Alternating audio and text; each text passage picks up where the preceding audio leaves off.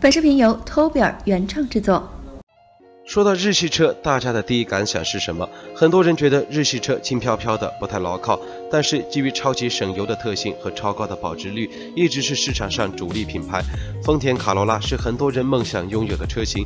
可是这款车隔音效果和面包车差不多，减震硬如铁板，凭什么月月还能卖出两万台？丰田卡罗拉在造型上还是十分亮眼的，符合大众审美。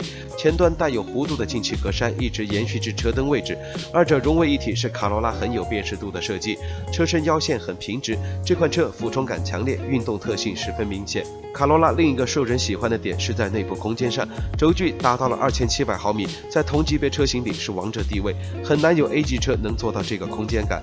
坐在后排，膝盖与座椅距离至少也有两拳，并且把后排中间的凸起部位去掉了，这实在是太贴心的设计。坐在中间的乘客就不会觉得脚酸。但这款车硬件配置真心不怎么样，有些车还没有 ESP，但是销量居高不下，这是为什么呢？首先是基于日系车质量来说，口碑摆在那儿，这就是最好的说服力。丰田的保值率很高，开了几年的车，定期保养样子还是不会发生变化，这就是靠时间说话。现在很多车只能前两年开着还行，后面就一直走下坡路。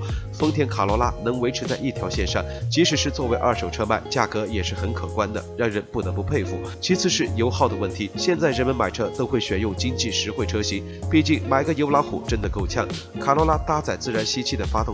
油耗能这么低，这就是技术。最后是前面提到的空间优势，非常对国人胃口，销量能如此惊人，也是情理之中。